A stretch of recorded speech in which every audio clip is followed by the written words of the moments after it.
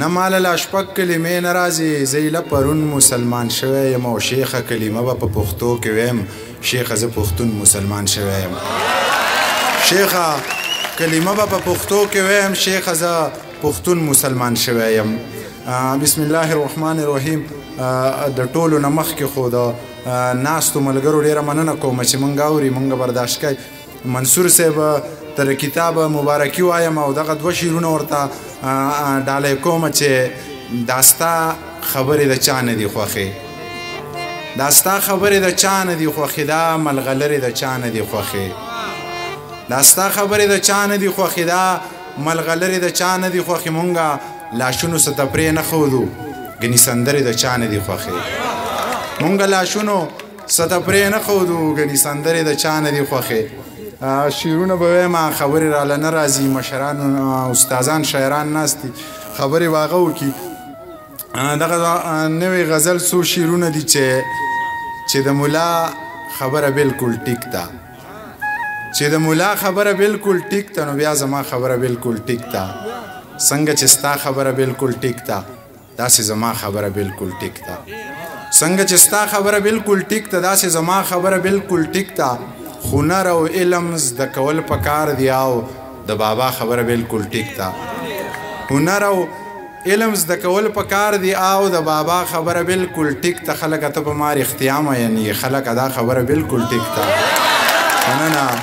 خلک ته په مار اختیام یعنی خلک دا خبره بلکل ټیک تا د منیر جان خبرې ګډې وډې د مولانا خبره بلکل ټیک تا د منیر جان خبرې ګډې وډې د مولانا خبره بلکل ټیک تا یو څو نور شیرونه چې خدایا د مليانو سره ژوند مې دی څه د بلاګانو سره ژوند مې دی خدایا د مولیانو سره ژوند مې دی څه د بلاګانو سره ژوند مې دی خپل سلام په خپل باندې اخلم داسې د هندوانو سره ژوند مې دی خپل سلام په خپل باندې اخلم داسې د هندوانو سره ژوند مې دی خد غلامه په جخ کې ټیټ ګرځي خد غلامانو سره ژوند مې دی خد غلامه په جخ کې ټیټ ګرځي ښه د غلامانو سره ژوند مې دی آو آو په یارانو باندې مړ یم آو آو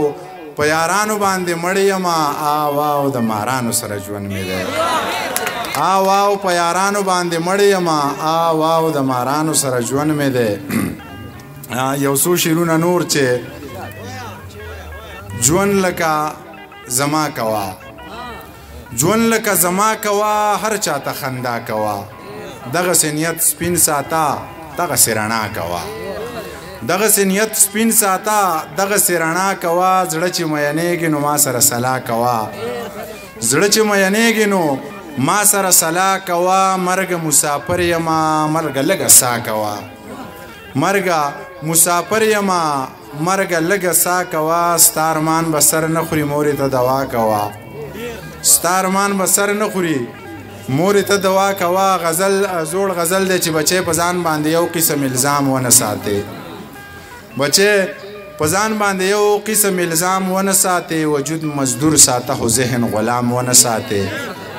مننه داسې کار وکه ځان د وخت نه وخت د ځان غلام کا داسې کار وکه ځان د وخت نه وخت د ځان غلام که داسې کار وکه چې وختونو ته بام ونه ساتې د خدای د مخې ګناهونه کوه مه یریږه د خدای د مخې ګناهونه کوه مه یریږه خو د انسان د مخې لاسو کې جام ونه ساتې دا چې خدای او رسول نه مني قرآن ته ګوره دغه سړی چرته سړی امام ونه ساتې دا چې خدای او رسول نه مني قرآن ته ګوره دغه سړی چرته سړی امام ونه ساتي او منیر پاگل خو چې نه وکي بیا یې نه کړی وي منیر پاگل خو چې نه وکي بیا یې نه کړی وي لیونی به شي دا لارې ماښام ونه ساتي یو څو شیرونه نور چې ویمه نظم ویمه نظم بیا قصه ډېره اوږدېږي ناوخته دی ملګري ډېر یو څو شعرونه دي چې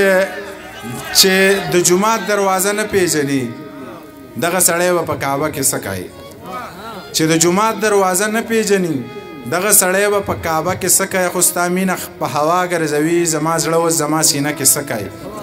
اخو ستا مینه په هوا ګرځوي زما زړه وز زما سینه کې سکه منیر پاګل په میخانه کې ګورا منیر پاګل په مدرسه کې سکه